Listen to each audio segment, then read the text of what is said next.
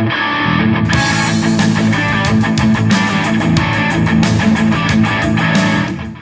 morning. Today is Thursday, September 17th, 2015. I'm Keely Laerdal. Tomorrow is our homecoming assembly, parade, and games. And I'm Christopher Ivy. We'll give you the details on where, when, and how you can be involved. Spirit Day is on Friday. Your CSN News starts now.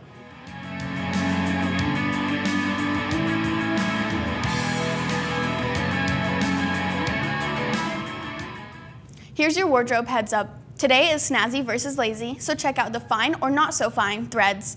The annual homecoming assembly will take place tomorrow at 1.50 in the gym as it will be Spirit Day. Students are encouraged to wear the following colors by grade level.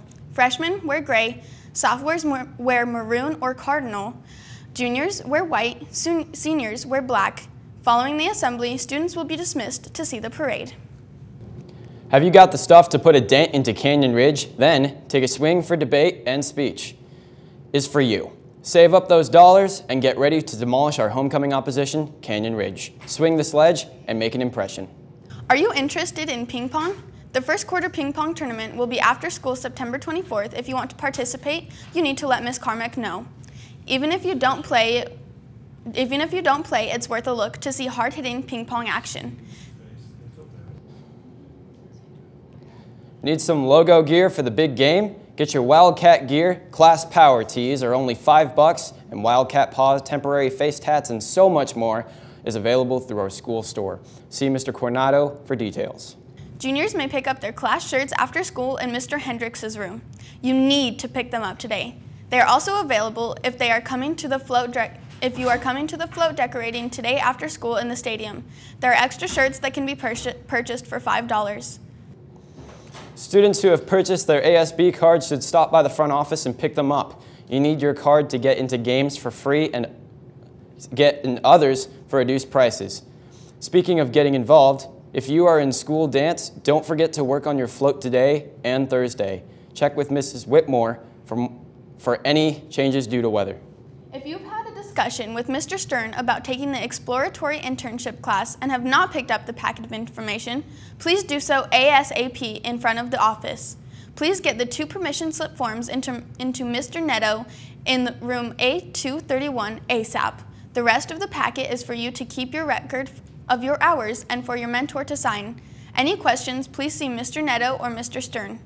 Also, if you're interested in the Costa Rica trip, the parent meeting is tonight in Mr. Shizzle's room. We'll be right back after this. Are you going to be ready when robots eventually take over the world? Get on the winning side and join robotics. In robotics, you will learn how to program and build various kinds of technology. You will learn about welding, electrical engineering, and programming. No experience? No problem. Come ready to learn. The Robotics Club meets every Thursday at 7 p.m. at Columbia High School in room A235. So if you have the chance, email Mr. Shizzle and get more information. Get your year in gear, save yourself from world destruction, and join robotics. Weather is brought to you by Dr. Kim Keller. Your smile is your first impression. Make it a good one and visit Dr. Keller today. Today's high 63, low 40, showers. Tomorrow's high 69, low 41. Strong aftershocks rippled through Chile on Thursday after a magnitude 8.3 earthquake killed at least three people, killed at least eight people, excuse me, and slammed powerful waves into coastal towns, forcing the evacuation of over a million people. The government ordered evacuations from coastal areas after the powerful quake hit on Wednesday evening, seeking to avoid a, a, repeat of quake disaster in 2010 when authorities were slow to warn of a tsunami that killed hundreds. As the risk has subsided, the government lifted its tsunami warning on this morning. The, the quake and heavy waves afterward caused flooding in coastal towns, damaged buildings, and knocked out power in the worst hit areas in central Chile. It shook buildings of the capital city of Santiago about 280 kilometers to the south. Today, the U.S. Army will hold a preliminary hearing in the desertion case of Sergeant Bowe Bergdahl a former prisoner of war in Afghanistan held for five years before a swap in 2014 for five Taliban leaders. The proceedings are at a military base in San Antonio and are similar to a probable cause case in civilian court where both sides can tell witnesses and lay out legal arguments. Legal experts say Bergdahl from Hailey was charged in March with desertion and misbehavior before the enemy. If convicted of misbehavior, the most serious charge, he would be sentenced to life in prison. Today's SAT word of the day is dormant, which means sleeping in an inactive state but with the potential to awaken. You could use it this way. The orchid on the windowsill was dormant throughout the winter but began to bloom again in the spring.